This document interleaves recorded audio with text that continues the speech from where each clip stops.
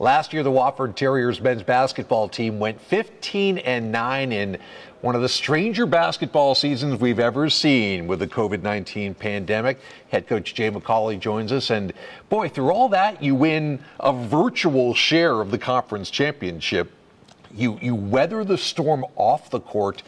Does this season, the beginning at least, seem almost normal now?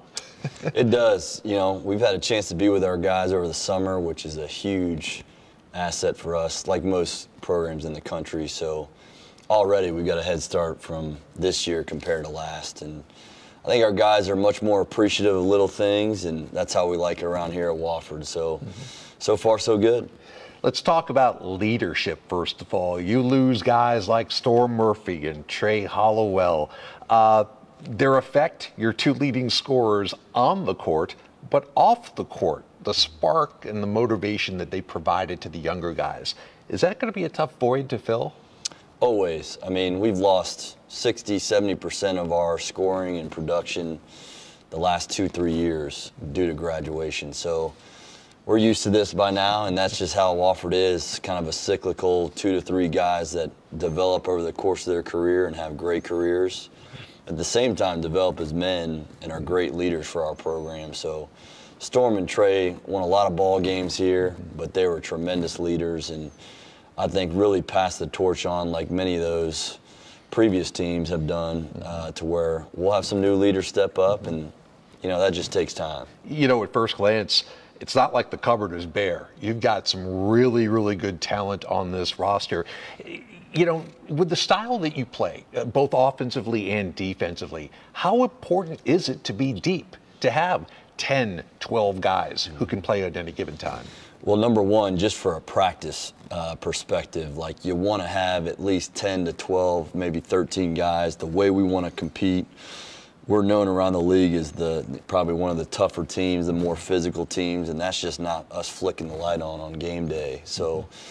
For practice purposes, it's so important that we have a healthy, deep roster. And then, obviously, in games the last few years, analytically, we've been, you know, picking the pace up a little bit on misses and turnovers. So, you know, if you're going to play that hard and run, you better have some some depth. And uh, certainly looking forward to throwing some new guys out there and seeing some guys that are returning, you know, expand their roles a little bit. I was going to say, in terms of new talent coming in, you you've got some great newcomers. You've also got one guy who didn't play last year, Isaiah Bigelow, yeah. who are all looking forward to completing the uh, the comeback from the knee injury. How's he been so far? He's been terrific, uh, and you know Isaiah is just a great kid, awesome smile. He's so pumped up to play this year and what he didn't have last year uh, to help our team after a good freshman year campaign. You know, there's only three, maybe four guys held over from our 2019 team. He's one of those guys. Mm-hmm. So you know, he's looking forward to adding some length, some versatility, as well as some leadership, just from in terms of knowing how to get to that point. Uh, but every day he's getting stronger, growing in confidence, and as a coach, I can't wait to see him out there in action. In terms of the Southern Conference, it's a cliche to say it's wide open. It's pretty wide open uh, this year. Of some coaching changes. Um, nobody can agree on exactly how this thing is going to shake out. Do you have any early general thoughts about what this this battle is going to look like this season?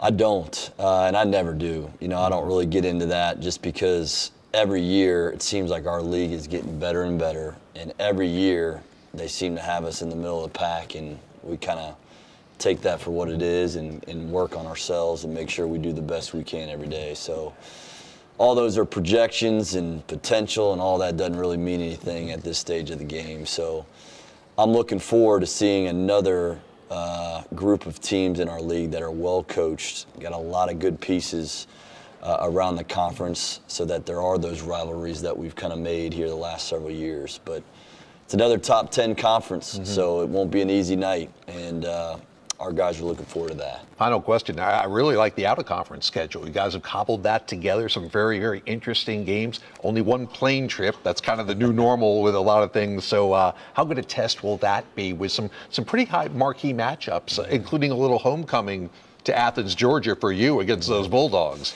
yeah, there's been a lot of uh, regional tests that I think were on purpose due to COVID and staying regionally and you know, not going through airports and all that. So, mm-hmm. thankfully, we've got some good home and home matchups and some big heavyweight matchups that I think our fans can travel to, as well as a really good matchup here versus top 25 team in Richmond, which seems like every year we've had a game like that, a marquee game that our, our crowds can get behind. So, I encourage everyone to come out, travel to those games, come to our games, and uh, you know, pack this place out again. We are looking forward to it. It all starts on this court right behind me here at Jerry Richardson Indoor Stadium against Bob Jones University. Hope to see you there.